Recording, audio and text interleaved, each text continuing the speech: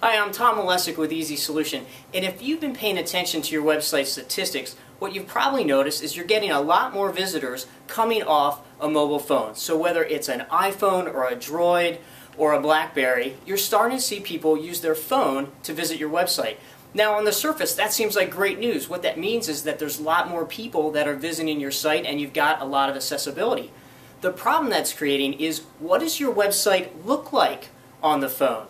So on some phones, it looks pretty good, but it's real small and hard to see, and on other phones it looks absolutely horrible.